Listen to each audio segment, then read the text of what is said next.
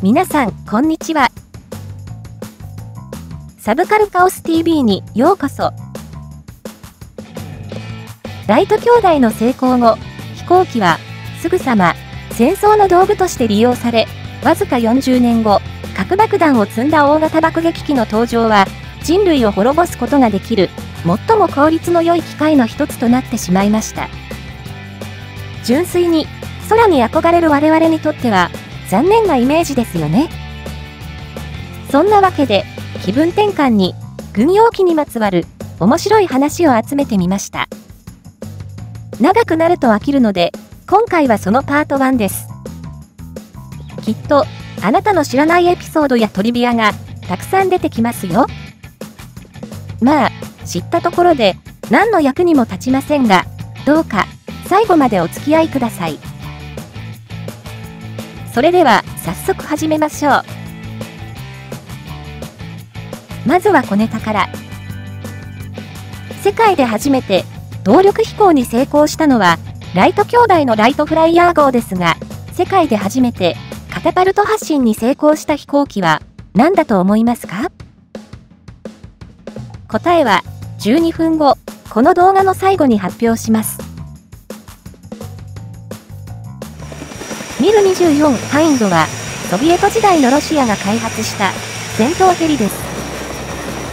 このごついデザインから空飛ぶ戦車などとも言われています。初飛行は1969年9月19日。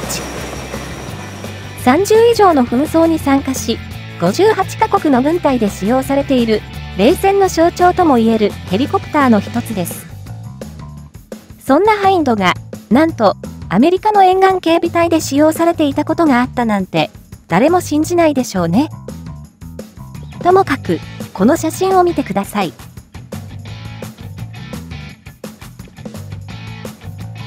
種明かしをしましょう。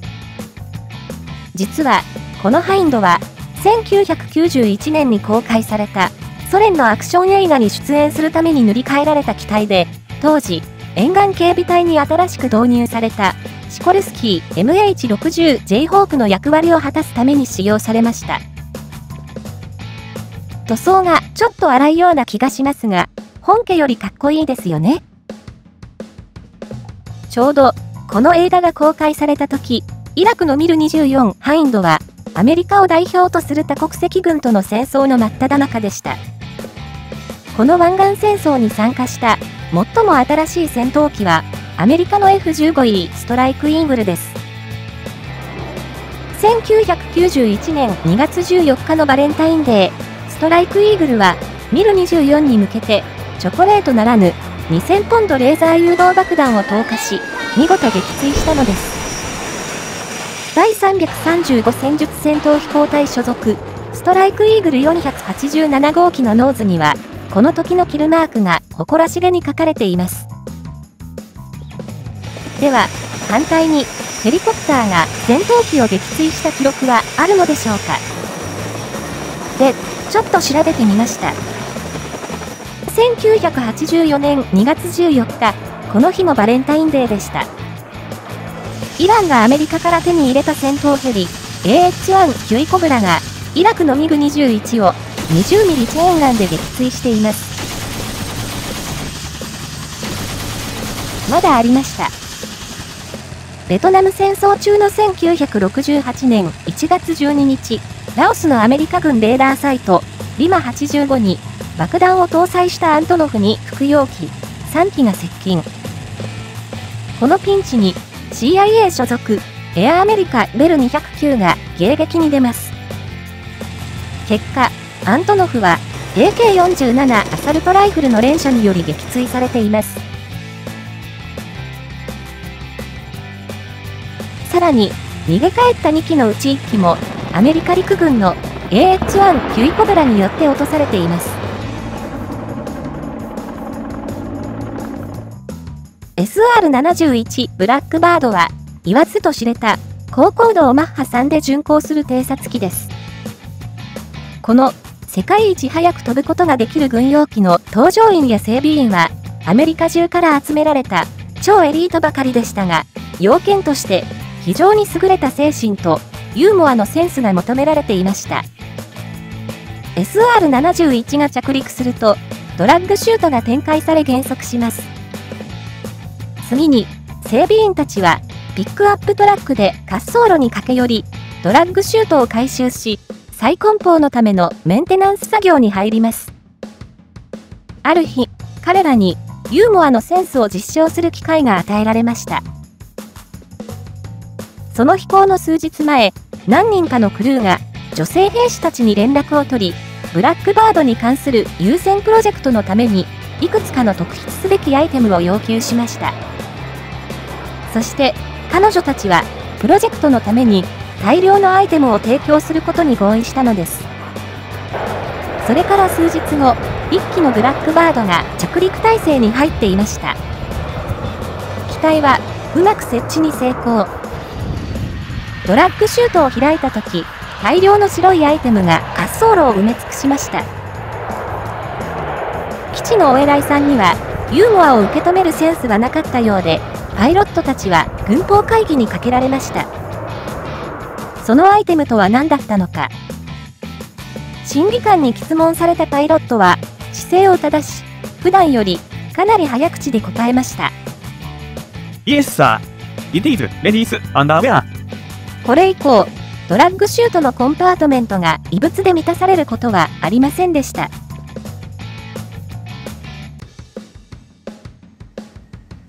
フェアチャイルド A10 サンダーボルト2は、地上部隊の近接航空支援のために特別に設計された攻撃機です。第二次世界大戦の後半に、近接航空支援の役割で頻繁に使用された P47 サンダーボルトにちなんで名付けられました。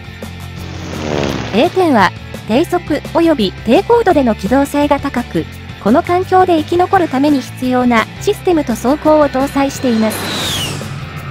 A10 の兵器は、すべての地上目標に対して使用することを目的としていますが、主に戦車やその他の装甲車両に対して使用されます。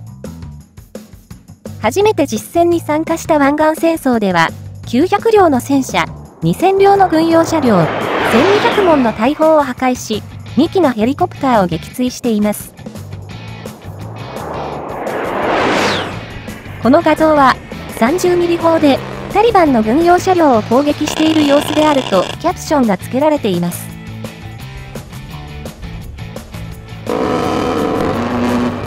どう見ても普通の乗用車ですけどね。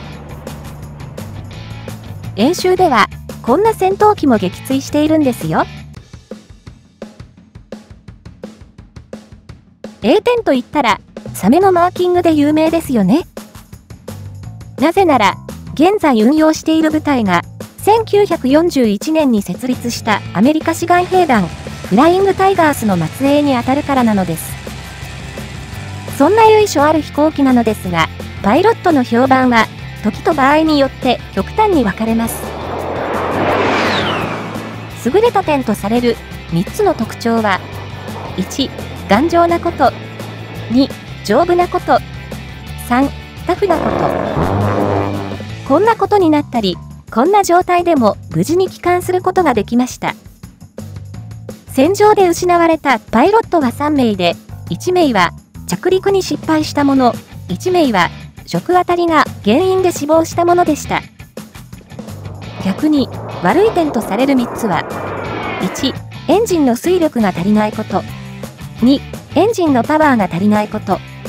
3、エンジンが弱々しいこと。相当恨んでいるようですね。灼熱の砂漠では、ジェネラルエレクトリック TF34 ターボファンエンジンは、十分なパワーを発揮できなかったようです。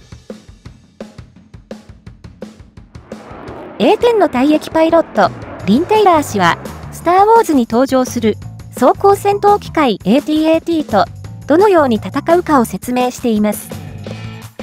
彼曰く、反乱軍の戦闘機は、光学熱兵器、すなわちレーザー砲を使用して苦戦していたが、重装甲重武装の正面を避け、足関節や首など、ソフトポイントへの30ミリ砲連射、もしくは、マーベリックミサイルで進撃を止めることができると語っています。フォースがあなたと共にありますように。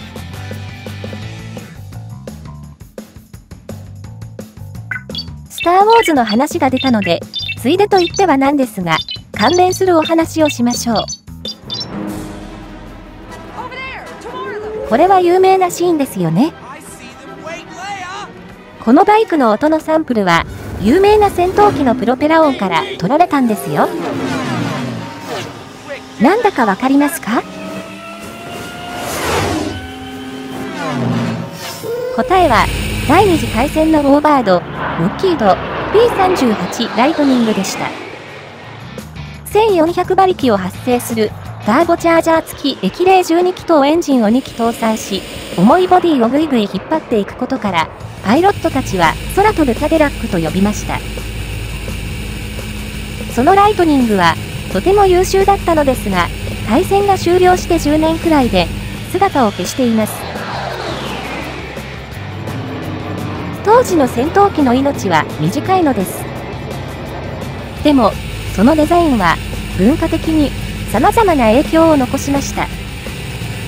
中でも有名なのは、1948年モデルのキャデラックでした。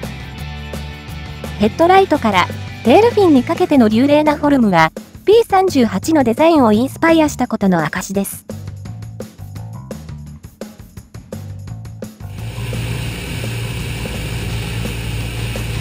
では次に、この車の写真を見てください。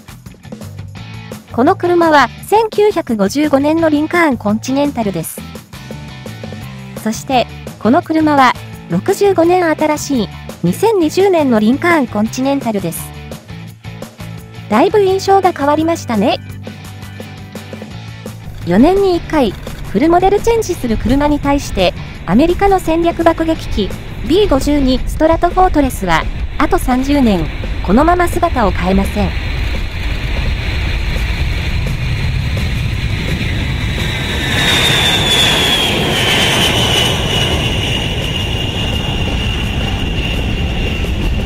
第二次大戦後、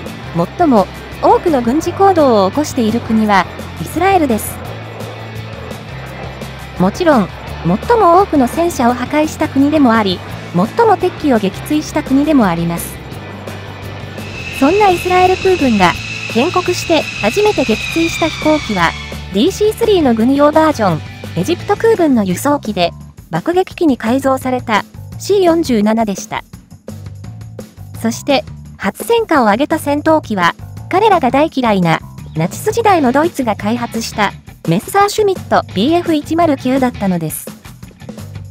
厳密に言うと、この戦闘機は、チェコスロバキアが、戦後、余った部品で生産した機体なのですけどね。ちなみに、当時のエジプトの主力戦闘機が、BF109 のライバル、イギリスのスピットファイアーだったということも、なんだか感慨深いですよね。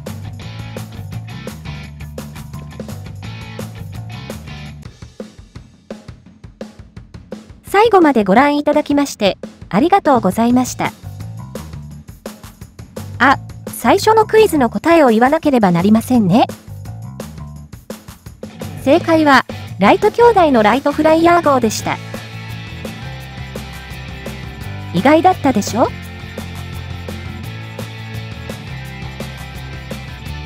それでは、パート2でお会いしましょう。